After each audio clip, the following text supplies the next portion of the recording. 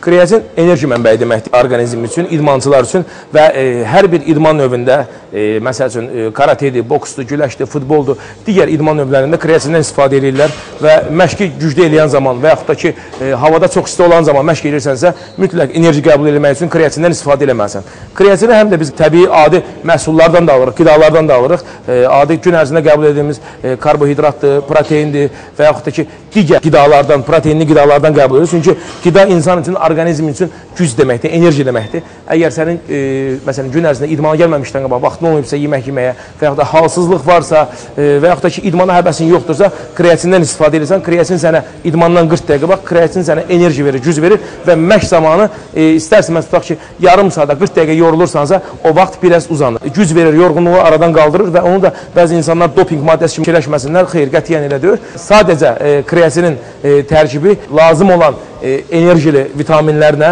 və digər maddələrlə hazırlanıb ki, heç bir insan orqanizmə ziyanı olmasın, ziyanlı tərəfindən sonradan bir problemi çıxmasın insanın. Və onu da içən zaman mütləq onu bədəndən yandırıb çıxartmalısan. Əgər yandırıb çıxartmasan, sonradan istərsimi əks tərəfdən ziyanlı tərəfi ola bilər ki, və özündə halsızlıq, baş gicəllənmələri, yorğunluq və digər e, nəsə xoşa gəlməz hadisələr baş verə bilər.